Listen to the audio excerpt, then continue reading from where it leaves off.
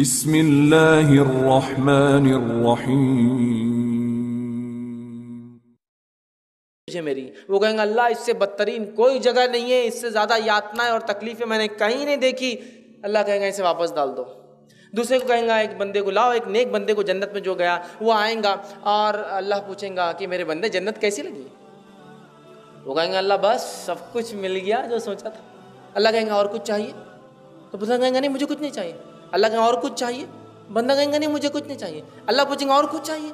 بندہ کہیں گا مجھے کچھ نہیں چاہیے۔ آپ نے فرماتے ہیں، پھر جب انسان کو اس بندے کو لگے کہ اللہ رکنے والا نہیں ہے، کچھ تو بھی مجھے بولنا ہی ہے اللہ کو۔ اللہ اللہ آفر دے رہا ہے، بولنا ہی پڑے گا۔ تو وہ شخص شہید ہوں گا۔ وہ کہیں گے، اللہ، دنیا واپس جانے کا پھر موقع دیا جا کے شہید ہو کر آؤں۔ اللہ کہیں گا، وہ چھوڑ کر باقی مانگو وہ نہیں ہو سکتا، جاؤ جنت میں واپس چلے جاؤ۔ تو شہید وہ شخص ہے جو دنیا میں آ کر اس عمل کو کرنے کی خواہش کریں گا، جنت سے نکل کر۔ کیا درجہ ہے؟ اسی طرح سے فرماتے ہیں کہ جنت میں جب انسان جائیں گے تو صرف شہدا کے درجے سو درجات ہے جنت اور ہر درجے میں سے پہلے سے لے کر دوسرا زمین و آسمان کے فاصلے کے برابر ہے۔ یہ ہے شہید۔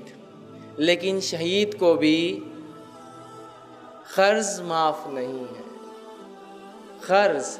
ایک اور روایت آپ نے فرماتے ایک شخص شہید و اللہ کی راہ میں پھر زندہ کیا جائے، پھر شہید و اللہ کی راہ میں، پھر زندہ کیا جائے، پھر شہید و اللہ کی راہ میں، پھر زندہ کیا جائے، تب بھی اس کا قرض معاف نہیں ہوگا باقی چیزیں معاف ہو جائیں گی انشاءاللہ۔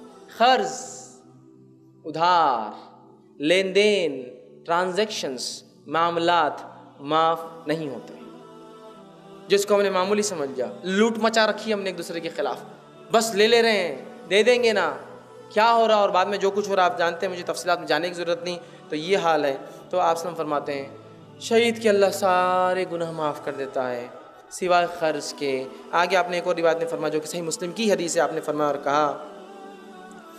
اور حدیث کا الفاظ اس طرح سے کہ ایک دن جو ہے، جو صحابی خطادہ رضی اللہ فرماتے ہیں، ایک دن وہ کھڑے تھے۔ اور جب کھڑے ہوئے تو نبی اکرم صلی اللہ علیہ وسلم کے پاس آئے اور آپ بھی کھڑے ہوئے۔ اور کھڑے ہو کر آپ نے فرمایا کہا، اللہ کی راہ میں جہاد کرنا، اللہ پر ایمان لانا افضل تر افضل ترین عمل ہے۔ اللہ کی راہ پر جہاد کرنا راہ میں اور ایمان لانا افضل ترین عمل ہے۔ ٹھیک ہے؟ اور آپ سے پھر آگے فرمائے ایک آدمی اٹھا اور اس نے کہا، کیا خیال ہے اگر میں اللہ کی راہ میں شہید ہو جاؤں، تو کیا میرے گناہ مٹا دیے جائیں گے؟ ایک شخص اٹھا اور کہا، کیا آپ کا اللہ کے رسول، کیا خیال ہے میرے بارے میں کہ اگر ایک شخص یا اس شخص کے بارے میں جو اللہ کے رہے شہید ہو جائے، تو کیا سارے گناہ معاف ہو جائیں گے؟ تو نبی اکرم صلی اللہ علیہ وسلم فرمایا اور کہا اس شخص سے ہاں۔ اور آگے فرمایا بشرط کہ آپ صبر کریں اللہ سے اجر طلب کریں اگر کوئی شخص شہید ہو تو آپ فرما رہے گناہ معاف ہو جائیں گے۔ بشرط ہے کہ جو آپ صبر کریں اجر طلب کریں سامنے سے لڑے، پیٹ نہ بتائے، ٹھیک ہے، سینے سے لڑے، پیٹ نہ بتائے، پھر آگے آپ نے فرمایا کہا پیٹ نہ پھیرے، پھیرنے والے ہو لیکن میرے پاس ابھی جبریل آئے تھے، جب میں تجھے یہ بتا رہا تھا، تو جب بھی جبریل آئے تھے جبریل نے مجھ سے کہا کہ یہ بات اس کو یہ بھی بتا دو کہ قرض معاف نہیں ہوتا، لیکن آپ سم کیا فرما رہے ایک صحابی سے انٹریکشن چل رہا ہے۔ جہاد، باطل کے خلاف، برائی کے خلاف، حق کی جنگ کو جہاد کہتے ہیں۔ تو اگر وہ کروں تو کہ گناہ معاف ہو جائیں تو کہاں؟ لیکن صبر کرے ٹھیک ہے؟ اس کے ساتھ جو اجر طلب کرے سامنے رہے ہاں، مطلب باطل کے خلاف ڈٹ کر کھڑا رہے، پیٹ نہ دکھائے۔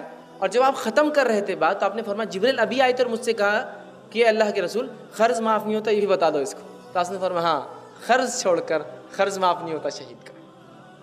اب جب شہید کا معاف نہیں ہوتا تو باقی لوگوں کیا معاف ہوں گے؟ اور ویسے میں کہتا ہوں، بہت زیادہ اعمال تو ہم لوگ نہیں کرتے ہیں، ہے نا؟